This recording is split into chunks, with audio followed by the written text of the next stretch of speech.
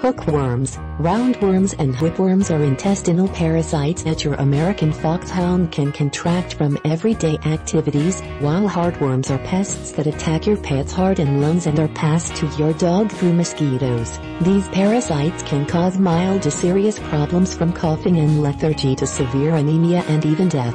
To ensure your foxhound health, a regular deworming program is crucial. Ask your veterinarian for the best medicines to protect your pet.